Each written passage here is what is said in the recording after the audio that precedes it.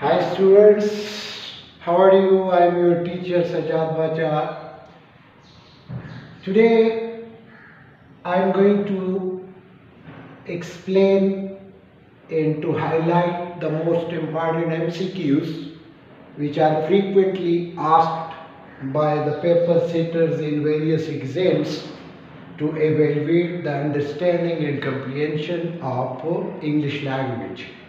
Dear students, uh, MCQs in this video, you will learn about the subject having the title of Methods of Teaching of English. English is an international language. It is applied in the prestigious jobs and it is the sign of prestige and honor all over the world.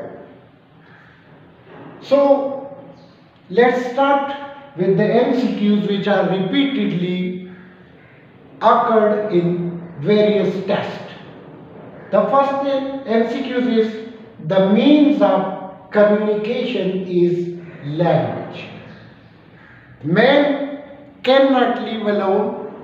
He always needs communication and communication is the process of exchanging the views, ideas, concept and planning with other people.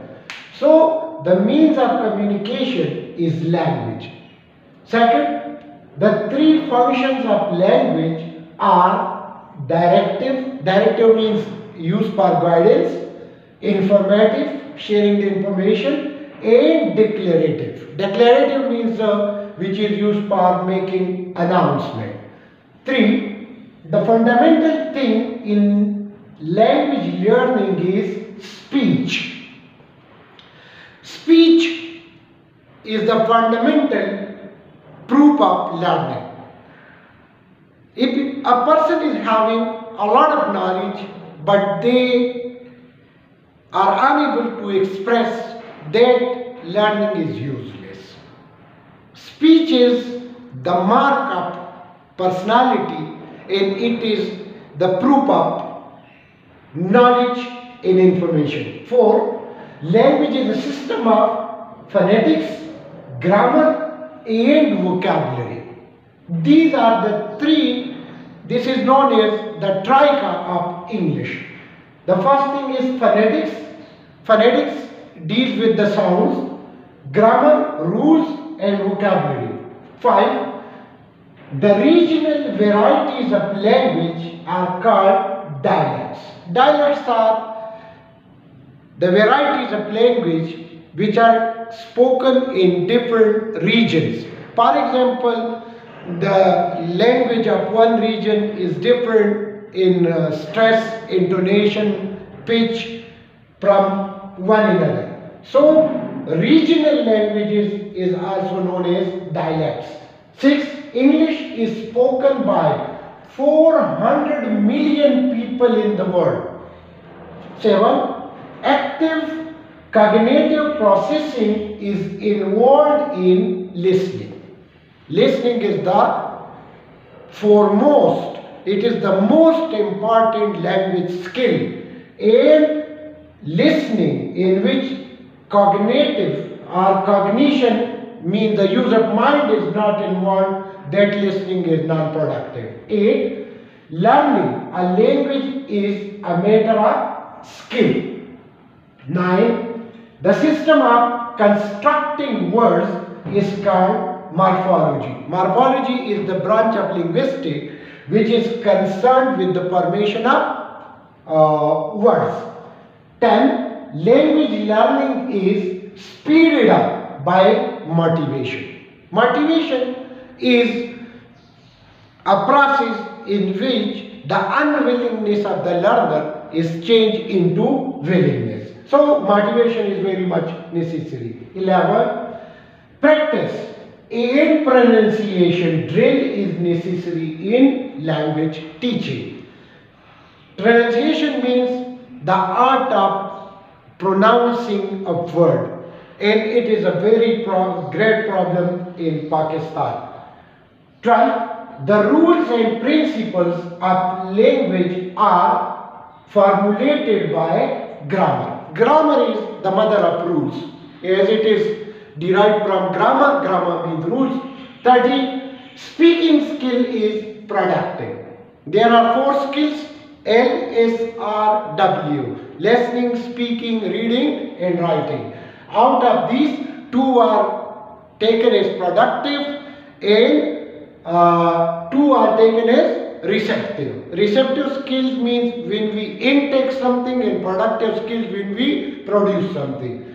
In grammar translation method, GTM stands for grammar translation method, speech of the learner is neglected. Grammar translation method is teacher centered. Teacher is performing all the activities, he is communicating with the students, but in response the students are passive. 15. Teaching English in GTM is by rule. Grammar translation method is also known as uh, rules based method. 16 Direct method makes use of abbreviates. This is the good method because abbreviates are used in 8.